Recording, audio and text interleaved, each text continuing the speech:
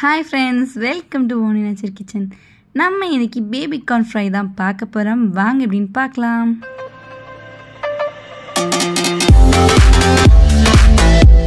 இது செய்கிறதுக்காகவே நல்லா ஃப்ரெஷ்ஷான பேபி கார்ன்ஸ் ஒரு ஆஃப் கேஜிஸ் வாங்கி வச்சுருக்கிறேன். இது ஃபஸ்ட்டு வந்து இதோட தோல் எல்லாம் ரிமூவ் பண்ணிவிட்டு உள்ளே இருக்க பேபிக்கானை வந்து நம்ம எடுத்துக்கலாம். அவ்வளோதான். எல்லாத்தையும் க்ளீன் பண்ணி எடுத்தாச்சு. நல்லா வாஷ் பண்ணிவிட்டு இதை வந்து நம்ம வந்து ஒரு நாலு பீஸாக கட் பண்ணி எடுத்துக்கலாம். சென்டரில் ஒரு கோடு அதுக்கப்புறமா நடுவில் நடுவில் ஒரு கோடு. நாலு நாலு நாலு பீஸாக நீள நீளமாக கட் பண்ணி எடுத்துருக்கிறேன். நீங்கள் எந்த ஷேப்பில் வேணாலும் கட் பண்ணிக்கலாம். இதையே ரெண்டாக கூட கட் பண்ணி எடுத்துக்கலாம். இப்போ இது எல்லாத்தையுமே ஒரு பவுலில் சேர்த்துட்டு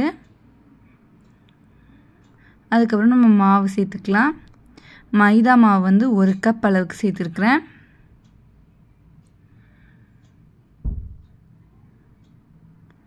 அதுக்கப்புறமா அரிசி மாவு வந்து ஒரு ஸ்பூன் அளவுக்கு சேர்த்துருக்குறேன். சில்லி பவுடர் ஒரு ஸ்பூன். ஜீரகத்தூள் அரை ஸ்பூன். மிளகுத்தூள் அரை ஸ்பூன்.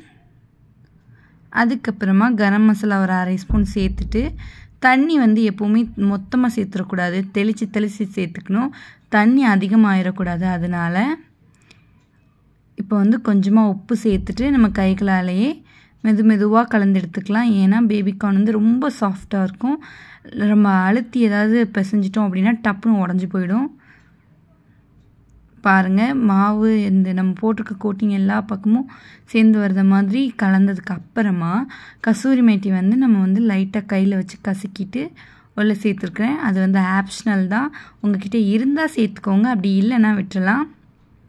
இதெல்லாம் சேர்த்ததுக்கப்புறம் நல்லா கலந்து வச்சுட்டு ஒரு காமன் நேரம் வந்து நல்லா ஊற வச்சு எடுத்துருக்கிறேன். அதுக்கப்புறமா ப்ரெட் க்ரம்ஸ் எடுத்துருக்கிறேன். நம்ம ஊற வச்ச பேபிக்கான எல்லாத்தையும் ஒன்று ஒன்றா எடுத்து ப்ரெட் க்ரம்ஸில் நல்லா மு முக்கி எடுத்து வச்சுக்கலாம். எல்லாத்தையுமே இந்த மாதிரி ஒன்று ஒன்றா நம்ம பெட் க்ரம்ஸில் முக்கி எடுத்து தனியாக ஒரு பிளேட்டில் எடுத்து வச்சிடலாம்.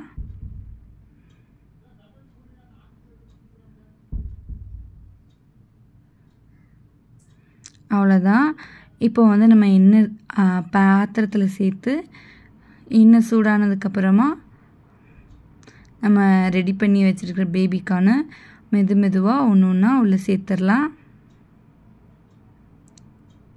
நல்லா சூடாயிட்டு இப்போ ஒன்று ஒன்றா சேர்த்துட்டேன்.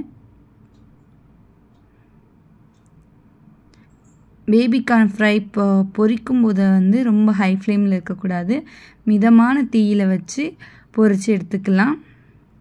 ரெண்டு பக்கமும் திருப்பி போட்டு வேக வச்சு எடுத்தாச்சு. எடுத்தாச்சு. இப்போ இதே மாதிரி மீதம் இருக்க எல்லா பேபிக்கானையும் நம்ம எண்ணெயில் சேர்த்து பொறிச்சு எடுத்துக்கிறலாம் இந்த பேபிக்கானை வந்து நம்ம ஸ்நாக்ஸாகவும் சாப்பிட்லாம்.